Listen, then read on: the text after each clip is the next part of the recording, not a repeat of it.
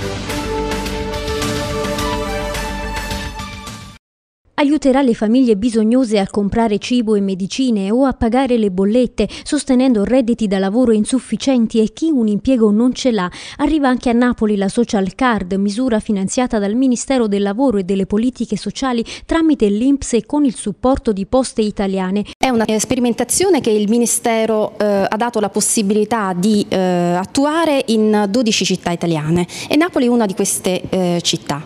Partirà adesso proprio l'avviso pubblico pubblico che eh, darà la possibilità alle famiglie di partecipare fino al, all'8 agosto, quindi cominciata dall'8 luglio all'8 agosto ehm, e prevede un sostegno concreto alle famiglie che ehm, abbiano all'interno del loro nucleo problematiche inerenti eh, perdita del lavoro in particolare. Infatti è una misura ehm, messa a disposizione proprio delle famiglie che, hanno, che vivono momenti, questo momento di crisi, soprattutto legato legato al lavoro.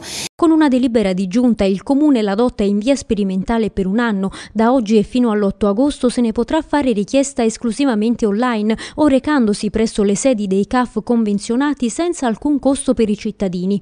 Tra i requisiti ehm, ci sono la residenza eh, nel comune di Napoli eh, da almeno 12 mesi per eh, cittadini italiani eh, e anche stranieri, le famiglie con un ISE pari o inferiore a, ai 3.000 euro, almeno un componente minorenne un componente eh, che negli ultimi 36 mesi ehm, abbia perso il lavoro o abbia cessato un'attività improprio ehm, oppure che attualmente abbia un lavoro dipendente con un reddito eh, di lavoro che non supera 4.000 euro eh, negli ultimi sei mesi. L'avviso pubblico con i requisiti stabiliti dal Ministero e vincolanti per i comuni e l'elenco degli sportelli presso cui ricevere assistenza sono consultabili sul sito del comune e disponibili presso le sedi URP delle 10 municipalità e di centri di servizio sociale territoriale. Subito verrà fatta, grazie ad una piattaforma informatica del, del comune, verrà fatta eh, una graduatoria in tempi molto, molto brevi.